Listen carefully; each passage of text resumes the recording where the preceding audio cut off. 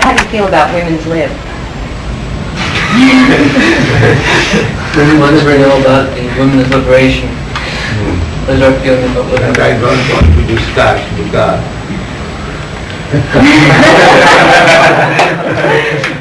See, as you have asked, I may explain that how foolish women are being cheated by the intelligent man.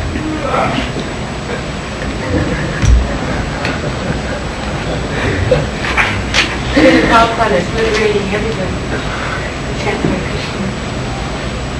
They, they are given in your country, they are given you liberty.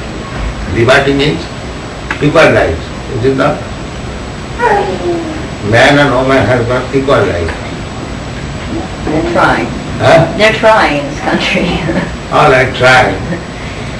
But you, woman, you cannot see that this uh, so-called equal right means cheating the woman.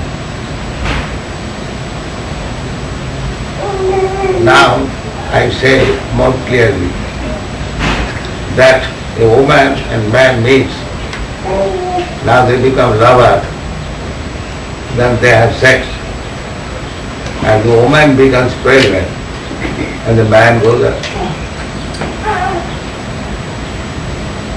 Uh, the simple woman, he has to take, he has to take charge of the child and beg from government alms, please give me money. This is your independence. Do you agree? This is independence. That the man makes the woman pregnant and he goes out without any responsibility.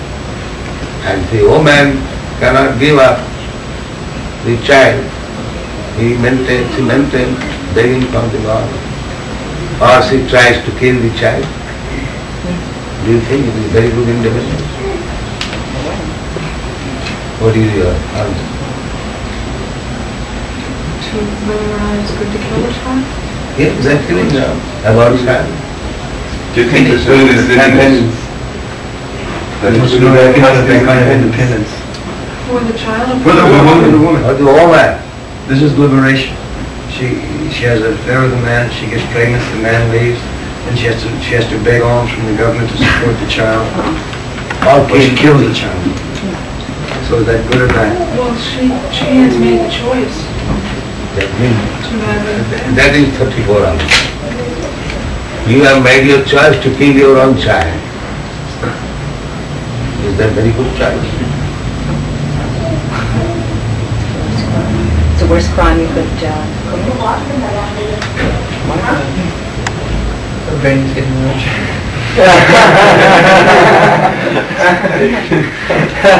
I think, It is very good business. I, I think this is a very complicated question. Therefore I say they are cheating you in the name of independence. That you do not understand. Therefore 34 hours. They are cheating you and you are thinking you are independent. they forget the responsibility that comes with freedom. They do not take the responsibility. They go ahead, they enjoy and go ahead. And woman has to take the responsibility. Either kill the child or maintain. Begging. You Do think begging is very good?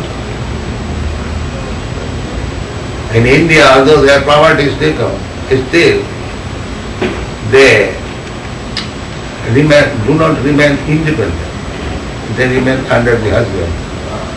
And the husband takes all responsibility. So she has neither to kill the child nor go to beg for maintaining the child. So which is independence? To remain under husband is independence or to become free, to be enjoyed by everyone? That's not where freedom is anyway. Huh? That's not where the freedom is. So there is no freedom, still they think there is freedom. That means under some plea, the men are cheating women. So in the name of independence, they are agreed to be cheated by another class.